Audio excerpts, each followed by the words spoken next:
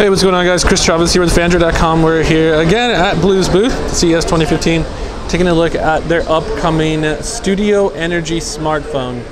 Uh, I guess the, the the standout feature is the fact that this phone comes with a 5,000 milliamp hour battery, which is absolutely insane. I mean, I haven't checked exactly, but I would say that's probably the biggest battery of any smartphone on the market, even beating Huawei's uh, big old honking uh, phone that comes with like a 4,500 one or something like that. So uh, this will give you days of battery life on end. It's it's absolutely nuts. Uh, support for AT&T's 3G network, so you won't get 4G LTE, but you will just get regular 4G, I guess is what they call it.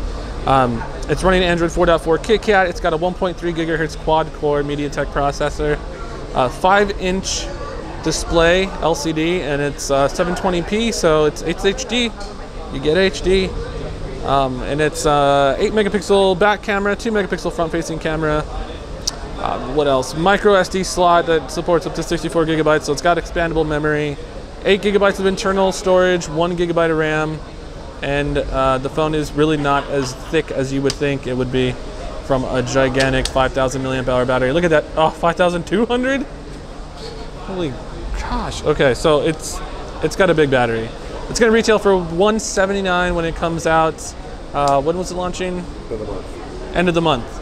So this is definitely something you want to keep an eye out for if you're looking for a cheap off-contract phone that won't break the bank, that won't get 4G LTE, but will last you days on end. This is absolutely nuts. It's a Blu Studio Energy with Phandroid.com. I'm Chris Chavez. Thank you guys for watching. We'll see you next time.